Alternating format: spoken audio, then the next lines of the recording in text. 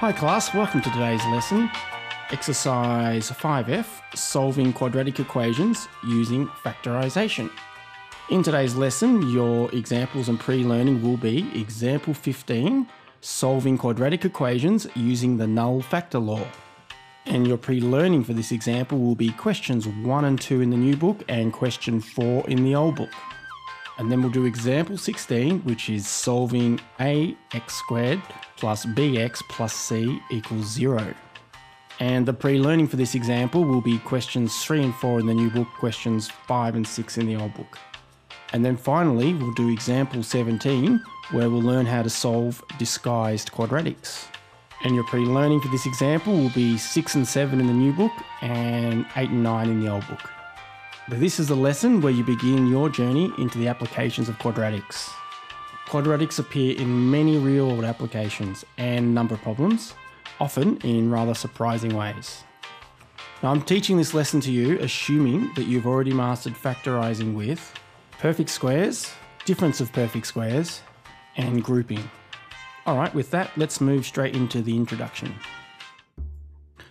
If you were asked to solve a linear equation like 3x plus 2 equals 4, well that just means 3x equals 2, therefore x is equal to 2 thirds.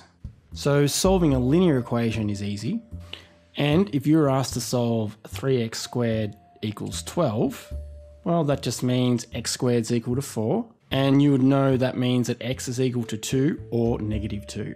So after doing our surd unit, solving x squared equal to a for x is pretty easy. But what about 3x squared minus x plus 2 equals 4? We could put all the numbers on one side and turn that into 3x squared minus x equals 2. Then divide that 3 out, we'd get x squared minus x on 3 equals 2 on 3. I don't know about you, but this doesn't really leave me with a lot of confidence on where to go next. So what if we just went trial and error? So let's try x equals 1. And subbing that 1 in, we'd get 3 times 1 squared minus 1 plus 2 equals 4. And that makes perfect sense. So this equation must be true.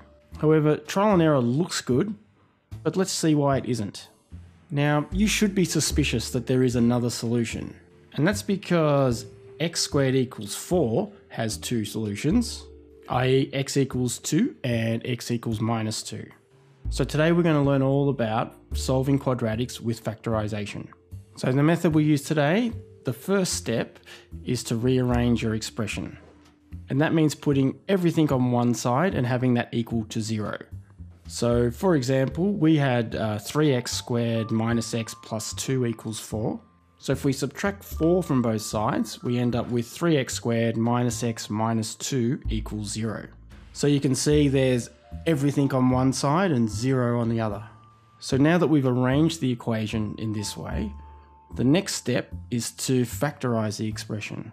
So to factorize 3x squared minus x minus 2 equals 0, you know that we'll have to think about a times c, which is 3 times minus 2, which is minus 6. And I also know that minus 3 times 2 are factors of minus 6 and summing minus 3 and 2 is minus 1. So we're going to use these facts in the grouping method, and that means that I can rewrite the quadratic as 3x squared minus 3x plus 2x minus 2 equals 0. And I'm sure you know this after all the hard work you've done in the previous lessons, but all we've done here is replace the minus x with minus 3x plus 2x. And of course the next step along the factorization path is to group these and taking out the common factor of each group, we end up with 3x times x plus 1 plus 2 times x plus 1 equals 0. I might have said x plus 1 there, I mean x minus 1. And so of course you know that leaves us with 3x plus 2 times x minus 1. So, so far we've factored the quadratic using the grouping method that we've already learnt. How does this help us? Well, step 3 is using what's called the null factor law which like the difference of perfect squares, from now on I'm going to call NFL. And no, that's not American football. So the null factor law is just saying that any number multiplied by zero equals zero. So that's no new information to you, it's just a new law to remember. So let's just prove that with 2 times 0 equals 0, 38.76 times 0 equals 0. Pi divided by 3 times 0 equals 0. And finally, a googol times 0 also equals 0. So another way of explaining this rule is if a times b is equal to 0, then a must be equal to 0 or b must be equal to 0. So because of the first way I've described the null factor law, this means that 0 times x minus 1 is equal to 0 and 0 times 3x minus 2 is also equal to 0. Oops, did I say 3x minus 2? We meant 3x plus 2. And the second way that I've described the null factor law means that 3x plus 2 times x minus 1 equals 0 when 3x plus 2 equals 0 or x minus 1 equals 0. Okay, and so that just means this bracket relates to this equation and this bracket relates to this equation. So now we just have two linear equations to work out really, don't we? So the one on the left means that 3x equals minus 2, or x equals minus 2 on 3. But the one on the right, well, let's just say x equals 1. Of course, if our maths makes sense, then we should be able to check our solutions. So from our trial and error method, we know that x equals 1 is a solution for 3x squared minus x plus 2 equals 4. So that won't be interesting for us to try, but let's try x equals minus 2 on 3. So if we sub that into the equation we already have, that means we end up with 3 times minus 2 on 3 squared minus minus 2 on 3 plus 2, which is 3 times 4 on 9 plus 2 on 3 plus 2, which is 4 on 3 plus 2 on 3 plus 2, just using the 3 to cancel down with the 9. So we've got a 4 and a 2 on 3, so that's 6 on 3 and the 2, which is 2 on 2, sorry, which is 2 plus 2, which is 4, which is exactly what we want.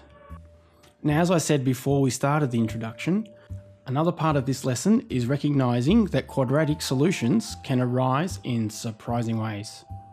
After completing our linear relations unit, you would have found it easy to solve for x when 5x plus 12 all divided by x equals 2. Well, multiplying both sides by x, we get 5x plus 12 equals 2x. Subtracting 2x from both sides, we get 3x plus 12 equals 0. And therefore 3x equals minus 12, or x equals minus 4. However, what if we had to solve 5x plus 12 divided by x equals 2x. Now the first step here would be to multiply both sides by x, which now gives us 5x plus 12 equals 2x squared. And all of a sudden the quadratic appears. So the first step is to put all the terms on one side and 0 on the other. And that will leave us with 2x minus 5x minus 12 equals 0. Now you could have made that minus 2x, but just imagine that I have subtracted the 5 and the 12 to the other side, okay? It just makes much more sense to have the 2x squared. And that should have been 2x squared, by the way. Okay, so beginning to factor, and I'm assuming this is easy for you by now, I'm going to write out, okay, just replacing the 5x with factors of 24. And my next step after grouping would have, and then we finish the factorizing, we left with x minus 4 times 2x plus 3 equals 0. And then using the null factor law, this statement is true when x minus 4 equals 0 or 2x plus 3 equals 0. So in other words, when x equals 4 or when x equals minus 3 on 2. Alright, so it's a big step to see these quadratics pop up out of nowhere. Let's check the solutions to make sure we're correct. So when x equals 4, the left hand side of the equation is, is 5 times 4 plus 12 divided by 4. Just subbing in 4 as a value for x, and I've made that super clear by putting brackets where x would be. So just doing a little bit of arithmetic, we can see that's equal to 32 on 4, which is 8. So now we have a right hand side of 2 times x, which is 2 times 4, which is just equal to 8. So because the left hand side equals the right hand side, our solution is correct. And isn't that exciting? All right, let's have a look at x equals minus 3 on 2. And subbing that into the left-hand side of our equations, we get 5 times minus 3 on 2 plus 12, all divided by minus 3 on 2, which is equal to minus 15 on 2 plus 24 on 2 minus 3 on 2. And I've done that deliberately because it's easy to now cancel out the divided by 2 on all sides. So we're left with minus 15 plus 24 divided by minus 3. And so therefore 9 divided by minus 3 is equal to minus 3. Alright, let's have a look at the right hand side, which was 2 times minus 3 on 2. That's pretty easy, we just cancel the 2's out, so we're left with minus 3. And once again, the left hand side equals the right hand side, which is exactly what we want. Isn't that fantastic? Both equations work. So that initial equation, 5x plus 12, all divided by x, equals 2x, has two solutions. So in today's lesson, the factoring we use is grouping, which will always give us two answers, using perfect squares, such as a times x plus b all squared equals zero. You might say that gives us two solutions, but if you check closely, both those solutions are the same. So that means that perfect squares give us one solution. Well, in this case, and that would be ax plus b equals zero, which is the same as saying x equals minus b on a. And the other type of factoring, of course, is difference of perfect squares, where you'll get some a times x whole squared minus b squared equals zero. And you should know by now we factor that as ax plus b times ax minus b.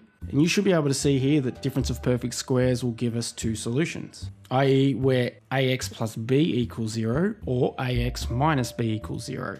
In other words, where x is equal to minus b divided by a or x is equal to b divided by a.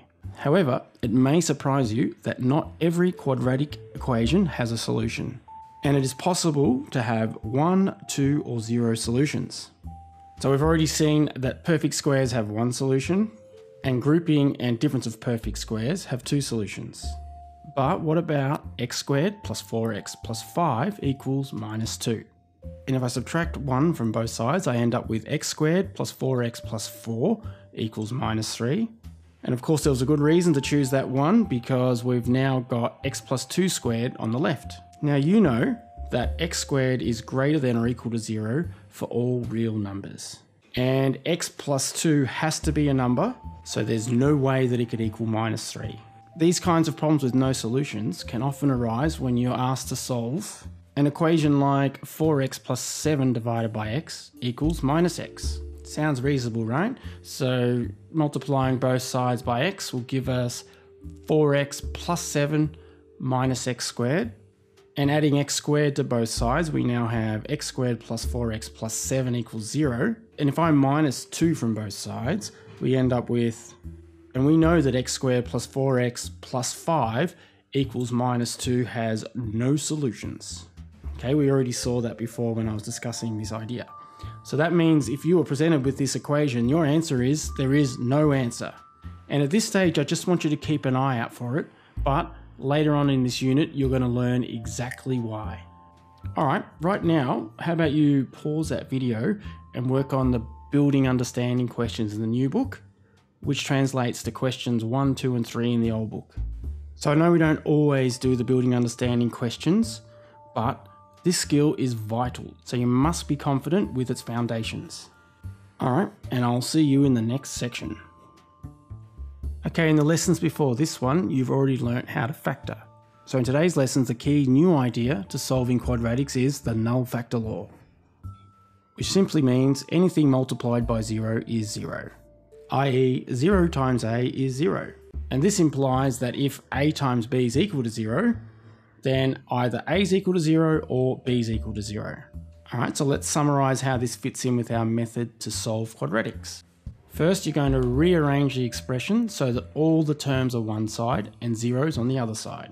Then you're going to factorise so you can find all the factors of quadratics that have an x in them. And then you can find the values of x that makes each factor equal to 0.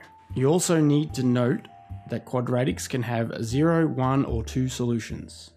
And while I work on this method, where it's appropriate, I'm going to show you a similar but alternative method alongside your solutions. When you complete your work, I'm happy with either one, as long as you understand what you're doing and you get the right result.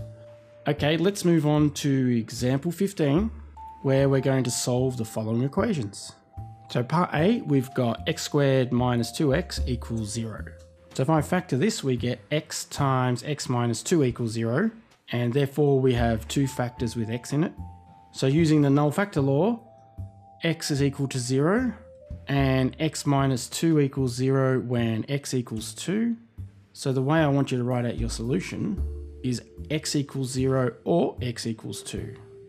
So don't be confused by the x on its own. It's worth pointing out that x times x minus 2 equals 0 is the same as saying x plus 0 times x minus 2 equals 0. Okay, so therefore we've got two factors and two solution. And it's not necessary to write this x plus 0, it's just me making a little point to you now, okay? All right, let's move on to part B, where we have x squared minus 15 equals 0. So if I write out 15 as the square root of 15 squared, we can factor with a difference of perfect squares. And once again, here's two factors with x in it. So therefore our solution is when x plus square root of 15 equals 0 or x minus the square root of 15 equals 0. And that's just using the null factor law. So of course completing those equations we want x equal to minus the square root of 15 or x equal to the square root of 15. So as I said, I'll do an alternative method where it fits. We could rewrite that as x squared equals 15. And you know that's x equals plus minus the square root of 15, just using what you've learnt in surds. So that means that x is equal to the square root of 15 or minus the square root of 15. So these two answers are the same. Finally, let's have a look at part C where we've got 2x squared equals 50. So you can say that that's 2x squared minus 50 equals 0.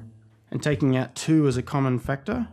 And clearly 25 is 5 squared, so we can use difference of perfect squares.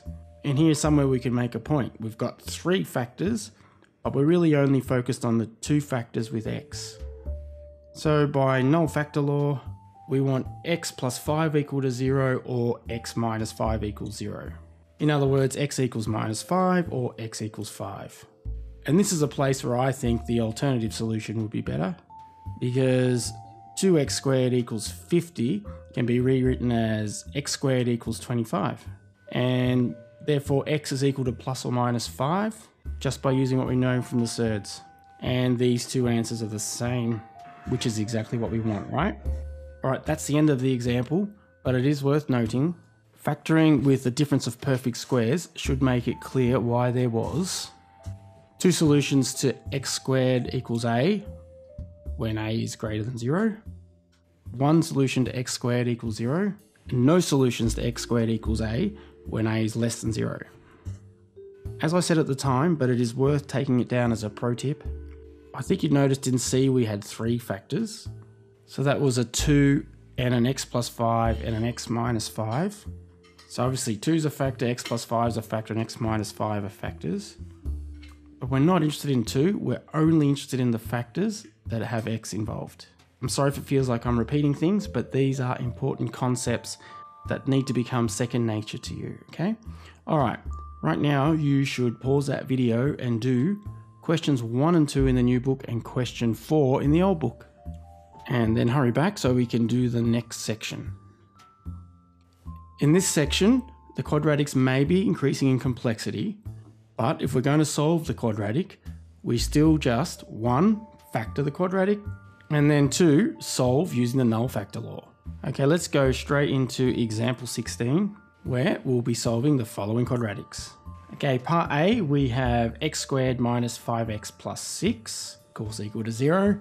As a little side note, minus 2 times minus 3 is 6, and minus 2 plus minus 3 is minus 5, which I'm going to use for this factorization because we now get x squared minus 2x minus 3x plus 6 equals 0, which now becomes x minus 3 times x minus 2 equals 0. And by the null factor law, the solutions are when x minus 3 equals 0 or x minus 2 equals 0. In other words, when x is 3 or x is 2. So once again, if you're ever unsure in a test, just check, okay? So When x is equal to 3, that quadratic becomes 3 squared minus 5 times 3 plus 6, which is equal to 9 minus 15 plus 6, which is 0, which is what we want. And when x equals 2, the quadratic becomes 2 squared minus 5 times 2 plus 6, which is equal to 4 minus 10 plus 6, which is 0, which is what we want. Okay, let's move on to part B, where we have x squared plus 2x plus 1 equals 0. Now hopefully it's apparent to you that that's a perfect square. So in other words, x plus 1 squared equals 0, and we've just got one repeated factor with x. So the solution to this is when x plus 1 equals 0, or when x is equal to minus 1. Okay, so that's nice and easy. Let's move straight on to part C, where we have 10x squared minus 13x minus 3 equals 0. And of course, a times c is 10 times minus 3, which is just minus 30. And I know that minus 15 times 2 is equal to minus 30. And minus 15 plus 2 is minus 13. So of course I'm going to use these facts for factorising by groups. And replacing the minus 13 with minus 15 plus 2, we get 10x squared minus 15x plus 2x minus 3 equals 0. And my next step, I factor out the 5x and plus 1. Of course, you don't need to write that plus 1, but it really helps in the next phase because it gives us 5x plus 1 times 2x minus 3 equals 0. So our two factors with x tell us that the solution has to be 5x plus 1 equals 0 or 2x minus 3 equals 0. Of course, we're using the null factor law, and this implies that x is equal to minus 1 on 5 or x is equal to 2 thirds. And you can go through those steps yourself if you need to. And of course you can check that. Um, you could sub in x equals minus 1 on 5 for the value of x at the top there or x equals 2 on 3. But I'm going to leave that up to you. But regards checking, I'm going to say that as a pro tip, while checking is very important, it doesn't have to be by hand. A calculator is fine. So for example, let's check with the x equals 3 on 2. So we want to see that 10 times 3 on 2 squared minus 13 times 3 on 2 minus 3 equals, and hopefully my handwriting's good enough, fuel. And as I was saying, equals hopefully 0. Yes, it does. Alright, so that's it for this example, but hopefully you've noticed the level of factoring skill that's required. While doing this exercise might help you develop that skill further, if you're really not confident, maybe you should go back and redo a couple of questions in the last few lessons. But if you are, right now you should pause that video and do questions 3 and 4 in the new book and questions 5 and 6 in the old book. And then we'll see you in the next section. Sometimes when we're asked to solve an equation for x, it can lead to creating a quadratic that wasn't apparent at first. Once this occurs, we just use the normal techniques to solve quadratics. And this means arranging the equation so that all terms are on one side and the other side is equal to zero. And then step two is factoring the quadratic. And finally, solving it with a null factor law. So as I said, no different than usual. All right, let's get on to example 17, where we're going to solve the following. All right, part A, we have x squared equals 4x plus 15. And this really isn't a surprising quadratic though, is it? But let's first expand these brackets and then rearrange it so it's all on one side. All right, so that's the point we rearrange. So you can check your a times c, etc, etc, but I know that the next step is x squared minus 10x plus 6x minus 60 equals 0, which factors to x plus 6 times x minus 10 equals 0. Okay, you can check those steps yourself. Therefore, by the null factor law, we're left with x plus 6 equals 0 or x minus 10 equals 0. Therefore, our solutions are x equals minus 6 or x equals 10. So if we're going to check x squared equals 4 times x plus 15, if x equals minus 6, then our right hand side will be 4 times minus 6 plus 15, which is really just 4 times 9, which is 36. And the left hand side, well, that's just minus 6 squared, which is 36. So the left hand side equals the right hand side. Boom, we're correct. And you could do the same for 10, but once again, I'll leave that up to you. So right now, I'm going to move on to part B, where we have x plus 6 divided by x equals x. All right, so this is one of those more surprising ones. So Once I multiply both sides by x, we end up with x plus 6 equals x squared. And if I subtract x plus 6 from both sides, we end up with 0 equals x squared minus x minus 6. And if you're confident with your factoring, we can now turn that into 0 equals x minus 3 times x plus 2. So therefore, x is equal to 3 or x is equal to minus 2 by the null factor law. And this is definitely one that's worth checking if x is equal to 3, then the left hand side will be 3 plus 6 on 3, which equals 9 on 3, which equals 3. And because the right hand side is x, which is 3, this means the left hand side equals the right hand side. And when x equals minus 2, the left hand side is, is minus 2 plus 6 on minus 2, which is equal to 4 on minus 2, which is minus 2. And sure enough, that's equal to the right hand side so we're correct. Now, as a pro tip for this one, using a calculator check can be tricky. Make sure that you do left hand side and right hand side separately. Unless, of course, you have a CAS calculator, but that's another story. Alright, right now you should pause that video and do questions 6 and 7 in the new book and questions 8 and 9 in the old book. And then when you come back, we'll summarise this lesson. So for this lesson, applications may seem like false advertising, but maths is an application, right? But the main reason why I was saying this is important to applications is because using this technique is exactly how we solve real world problems. So you're going to really need to master this lesson, otherwise the next one is going to be very difficult.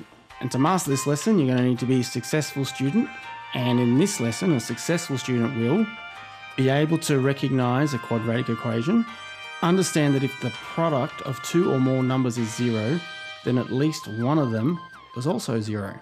And be able to apply the steps required for solving a quadratic equation using the null factor law.